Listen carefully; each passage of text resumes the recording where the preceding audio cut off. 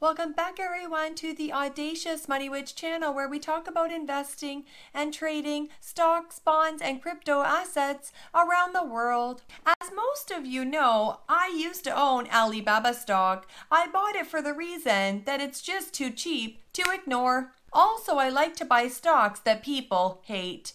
That's where you could get an unpolished gem. In this video, I want to talk about what just happened with Chinese stocks like Alibaba and why I don't regret selling my shares. Then I will talk about the stocks I bought with the profit I took from selling Baba stock, why I think those are better money makers in the long run. At the end, I will talk about the lessons I learned from selling my Baba, obviously too early. Thank you for joining me and hit the like button if you've enjoyed today's episode and subscribe for more. Let's get right into it. My last Estee Lauder stock video, it called the bottom on China. If you have the chance to see that. So why is Chinese stock going to the moon all of a sudden?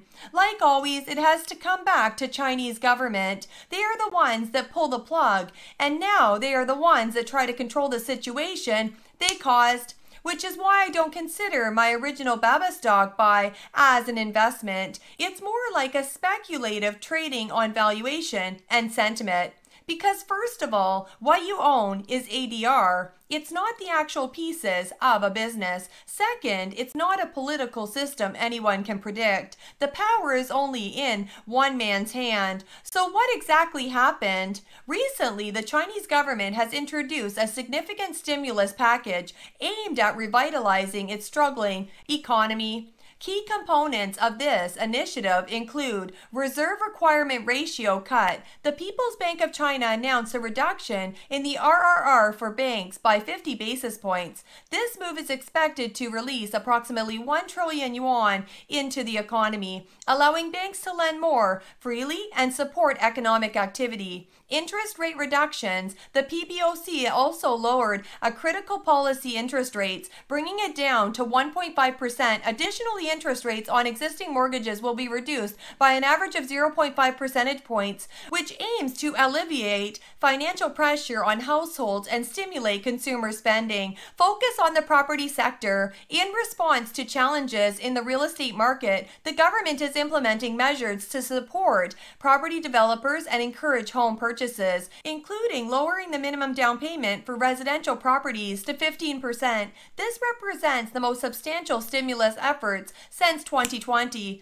reflecting an urgent response to Chinese deflation. The reasons that I am not regretting selling all of my shares is that I made some money. I bought the dip in BABA in the high 60s and lowered my cost basis. So even though I didn't get the recent 25% breakout FOMO gain, I made money and directed the gains to other bean down dog stocks like Roku, Lulu stock. I also bought Google stock at the recent dip, believe it or not. I sold my BABA in May at $88 a share, which gives me a lot of time and liquidity to load up on the dip of Roku in the low 50s. Right now, I'm already up 40% on my Roku stock. So why Roku? Roku's streaming platform connects consumers, content publishers, and advertisers. It monetizes paid content by charging fees for transactions processed through Roku Pay, and it monetizes ad-supported content by selling inventory and ad tech software. Roku sources advertising inventory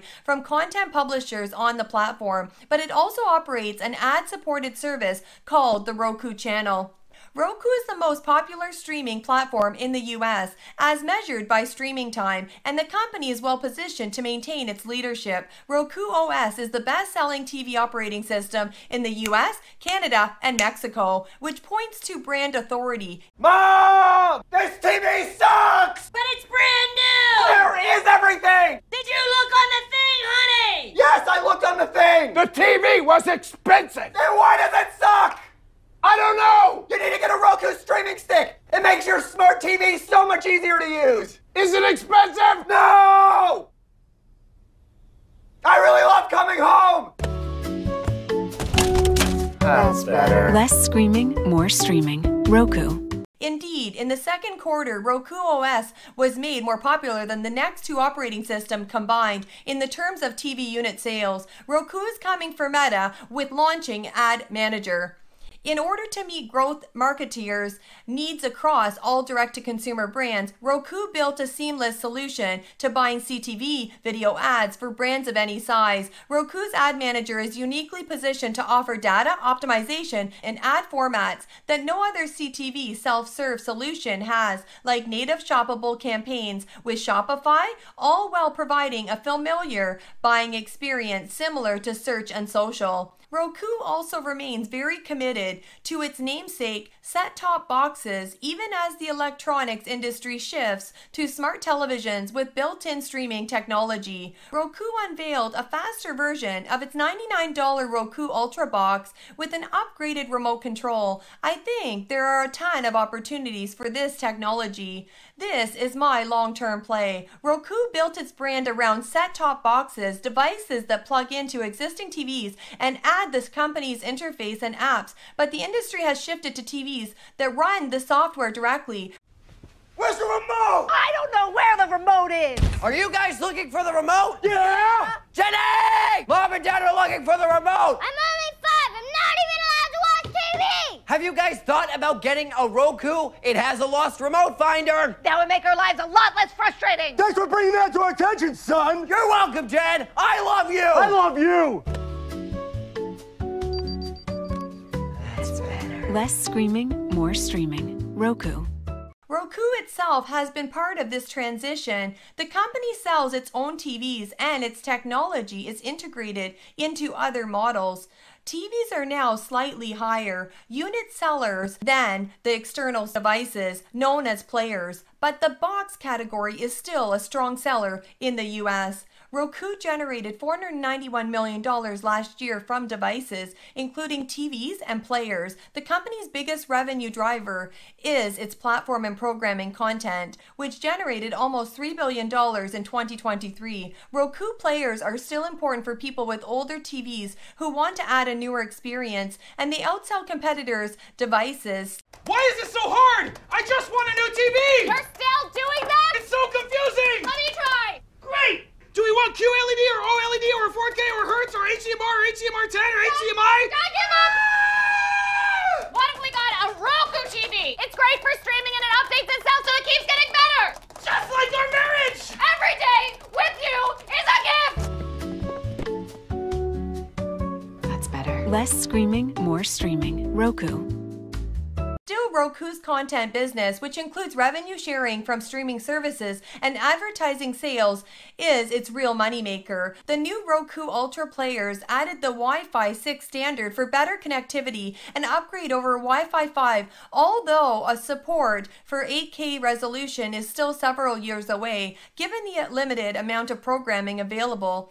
And while some folks have begun watching TV in virtual reality, Roku has no current plans to get into the metaverse. In August, Google introduced a new TV streamer, a revamped set top box built around AI, which is why I bought the recent dip at Google at $148 a share. Why do I believe Roku has way more upside than Alibaba? 700% implied upside to be exact.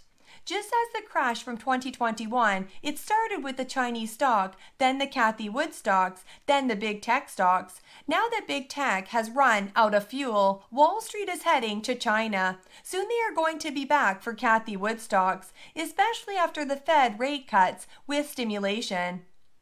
Roku reported encouraging results in Q2. Active accounts increased 14%, and streaming hours jumped 20%, which means the average account engaged with the platform more frequently. What Roku reports quarterly doesn't matter in the long run, so long as it has the highest market shares.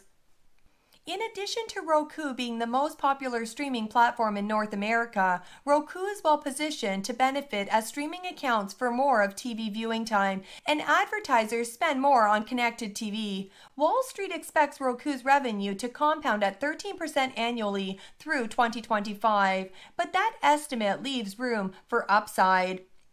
CTV ad spending is projected to grow at 12% annually during the same period, and Roku's leadership in North America, coupled with its expanding presence in international markets, could lead to faster than expected growth. Having said that, the current valuation of 2.8 times sales is reasonable even if the Wall Street consensus is accurate. Personally, I think ARK's price target of $605 per share is achievable due to the reason that once Roku becomes profitable, Wall Street will pour money into this baby like we have never seen before, and we are all going to party in the Roku City. Woohoo! Patient investors will win in the end. This is the most important lesson I took away from my experience with Baba stock.